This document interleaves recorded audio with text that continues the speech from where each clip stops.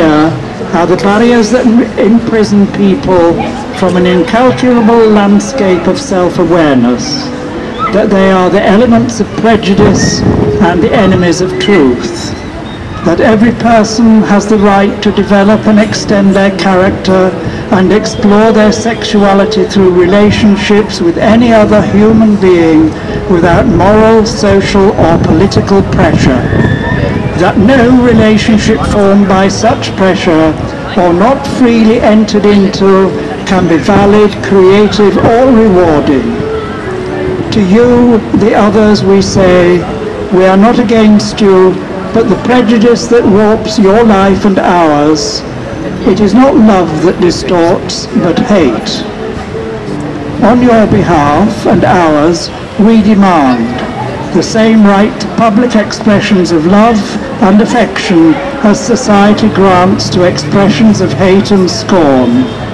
The right to behave without harm to others in public and private, in any way we choose, in any manner or style, with any words and gestures, to wear whatever clothes we like or to go naked, to draw or write or read or publish any material or information we wish at any time and in any place.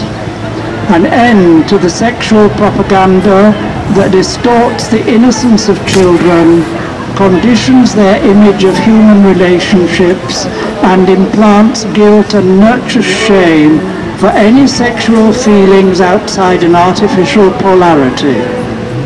An end to the centuries of oppression and prejudice that have driven homosexuals from their homes, families and employment, have forced them to cynicism, subterfuge and self-hatred, and have led them so often to imprisonment or to death.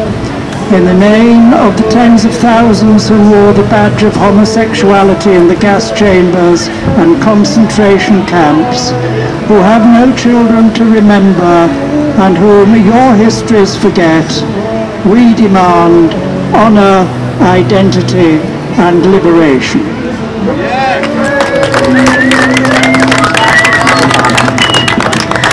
Could hear those demands every day. In fact, I'm going to start reading them to myself before I go to sleep at night until they're met, to be honest. I think they're so important and they are available somewhere online. Is that true? Are they online anywhere? Where are they? They're on our website, look it up, they're all going to be there. Do have a read. As I say, they've been unchanged since 1971, I believe. So, uh, yeah, food for thought, as I said earlier.